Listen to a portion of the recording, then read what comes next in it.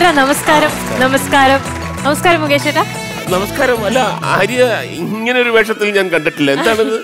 മൊത്തത്തിലൊരു ചേഞ്ച് ഉണ്ടല്ലോ. എന്താണ്? പക്ഷെ കയ്യിൽ അഞ്ചു രൂപയുടെ ചേഞ്ച് ഉണ്ടാവില്ല? കഷ്ടപ്പാടാ. അല്ല നിന്റെ കൂടെ അല്ലയോ എങ്ങനെ കാണും അഞ്ചു രൂപയുടെ ചേഞ്ച് അങ്ങനെ പറഞ്ഞു കൊടുക്കും മുകേഷ് ചേട്ടാ. അല്ല ഇപ്പൊ ഒന്ന് പറഞ്ഞതല്ലേ ഉള്ളൂ. ഇനി എപ്പോഴും എപ്പോഴും പറഞ്ഞുകൊണ്ടിരിക്കാൻ പറ്റത്തില്ല. ഭാര്യയുടെ വരവ് കണ്ടിട്ട് ഏതൊരു ജോലി കഴിഞ്ഞ് വരുന്ന പോലെ ഉണ്ടല്ലോ. ആ ഞാൻ ജോലിക്ക് പോയിട്ട് വരിക. എനിക്ക് ഇവിടെ അടുത്തുള്ള സർക്കാർ സ്കൂളിൽ ജോലി കിട്ടി. ടീച്ചറാണോ? ടീച്ചറല്ല. പ്യൂണാണോ? പ്യൂണും അല്ല മാനേജർ? അയ്യോ അതും അല്ല ഷെഫ്. സ്കൂളിൽ ഷെഫ് കഞ്ഞിവെപ്പ് പക്ഷെ ഇത്രയും അറിവും വിവരവും വിദ്യാഭ്യാസവും ഒക്കെ ഉള്ള നീ മറ്റൊരു ജോലിക്ക് നോക്കാതെ അവിടെ കഞ്ഞി വെക്കാൻ പോകുന്നതിന് എനിക്കൊരു ഇത്തിരി അഭിപ്രായം ഉണ്ട് ഉണ്ടല്ലേ? എനിക്ക് കഞ്ഞി കുടിക്കണമല്ലോ അതുകൊണ്ടാണ്. ആര്യേ?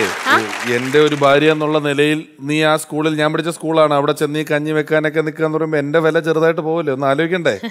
രമേശ് ചേട്ടന്റെ വില പോവും. പക്ഷെ ഞാൻ ഈ ജോലിക്ക് പോയില്ലെങ്കിലേ രമേശ് ചേട്ടന്റെ വയറ്റിലോട്ടൊന്നും പോവത്തില്ല പി എസ് സി ഒഴിക്കണോ ജോലിക്ക് പോയത്? അല്ല നമ്മുടെ ചന്ദ്രേട്ടന്റെ ചായക്കടയുടെ തൊട്ടപ്പുറത്തുള്ള ഇടവഴി വരെ നേരെ നടന്ന ജോലി സ്ഥലത്തെത്തും. ടോട്ടലായിട്ട് ജോലിയൊക്കെ എങ്ങനെയുണ്ട്? ജോലിയൊക്കെ സൂപ്പറാണ് മുകേഷ് ഏട്ടാ. പക്ഷെ അവിടെ ഒരു പ്യൂണുണ്ട്. അങ്ങേരെ സഹിക്കാൻ പറ്റത്തില്ല. അയക്ക് എന്നെ കണ്ടു കഴിഞ്ഞ ഒരുമാതിരി ഒരു ശൃംഗാര ഭാവം ഓ, അവൻ ഇത്രയും ദാരിദ്ര്യോ ആ, ആ, ഉച്ചയ്ക്ക് ഞാൻ കഞ്ഞി വെച്ചുകൊണ്ടിരിക്കുമ്പോൾ ഉപ്പ് കുറവാണോ കൂടുതലാണോ എന്നൊക്കെ നോക്കാനുണ്ടെന്നും പറഞ്ഞ് എന്റെ അടുത്ത് വന്ന് നിൽക്കും. എന്നിട്ട് എന്നോട് പറയും ആര്യയുടെ കൈകൊണ്ടുണ്ടാക്കിയ കഞ്ഞി കുടിക്കാനുള്ള ഒരു സുഖം അതൊന്ന് വേറെ തന്നെയാണെന്ന്. എന്നിട്ട് ആര്യ എന്ത് പറഞ്ഞു? ഞാൻ പറഞ്ഞു രമേശേട്ടന്റെ കൈകൊണ്ട് രണ്ട് അടി കിട്ടിയാലുള്ള സുഖവും ഒന്ന് വേറെ തന്നെയാണെന്ന്. അത് കേട്ടപ്പോ ആൾ പതുക്കെ സ്ഥലം വിട്ടു. വെറുതെ കേട്ടോ ഞാൻ അടിക്കൊന്നുമില്ല. അല്ല അരിയേ? ഇപ്പൊ ഉച്ചക്കഞ്ഞി കൊടുക്കേണ്ട സമയമല്ലേ? അപ്പൊ ഇങ്ങോട്ട് വന്നാൽ എങ്ങനെയാണ് മുകേഷ് ഏട്ടാ ഞാൻ പെട്ടുപോയില്ലേ? ഞാനല്ലേ പെട്ടുപോയത്? അയ്യോ അതല്ല ഇന്ന് ഞാൻ പെട്ടുപോയില്ലേന്ന്. എങ്ങനെ? ഇന്ന് ഡിഒ ഇൻസ്പെക്ഷന് വരുന്ന ദിവസം ആ സ്കൂളിൽ. ഇന്ന് നോക്കി നമ്മുടെ വിലാസിനി ടീച്ചർ അങ്ങ് ലീവ് കൊടുത്തു. ടെൻഷൻ അടിച്ച് ഹെഡ് മാഷ് ഓടി വന്ന് എന്നോട് പറഞ്ഞു ഇന്ന് ഡിഒ വരുന്ന ദിവസമാണ്. ആരെയും ഒന്ന് വിലാസിനി ടീച്ചർക്ക് പകരം ആ ക്ലാസ്സിലൊന്ന് നിൽക്കണം ഡിഒ പോകുന്നവര് ഒന്ന് അഭിനയിക്കണമെന്ന്. ഞാൻ ഓക്കെ പറഞ്ഞു. ഞാൻ ഓക്കെ പറഞ്ഞത് നമ്മുടെ ഹെഡ് മാഷ് സ്കൂളിന്റെ മതിലെടുത്ത് ഒരൊറ്റ ചാട്ടം. കൂടെ ആരായിരുന്നു? ഈ രമേശ് ചേട്ടന്റെ സ്വഭാവം അല്ല ഹെഡ് മാഷിന് അപ്പുറത്തെ ഉണക്കാൻ ഇട്ടിരുന്ന ഈ നല്ല സാരിയും ഈ ബ്ലൗസും ഒക്കെ എനിക്ക് കൊണ്ട് തന്നു. പിന്നെ ആ കണാര മാഷിന്റെ മുഖത്തിരുന്ന കണ്ണാടിയും കൊണ്ട് തന്നു. ടീച്ചറിന്റെ ലുക്ക് വരണമല്ലോ? അതെ അതെ. അപ്പൊ ഈ വിലാസൻ ടീച്ചർ ഏത് വിഷയം എടുത്തോണ്ടിരുന്നത്? ചരിത്രം. ഹിസ്റ്ററി ഹിസ്റ്ററി അല്ല ചരിത്രം? അത് വിട്ടുകളാ. പോട്ടെ പറ. അങ്ങനെ ഞാൻ ക്ലാസ് എടുക്കുന്നതായിട്ട് അഭിനയിച്ചുകൊണ്ടിരിക്കുമ്പോൾ നമ്മുടെ ഡി ഒയും ഹെഡ് മാഷും കൂടെ കയറി വന്നു.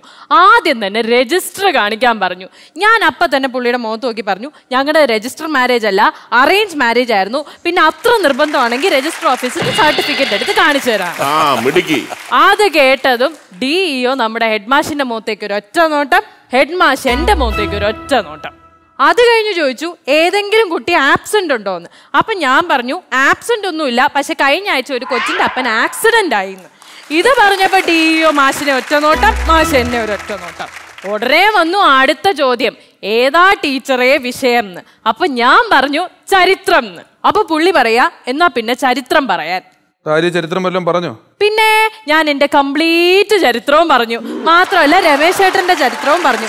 ഇച്ചിരി വെയിറ്റ് ഇരുന്നോട്ടെ എന്ന് വെച്ച് ഞാൻ മുകേഷ് ചേട്ടന്റെ ചരിത്രവും പറഞ്ഞു.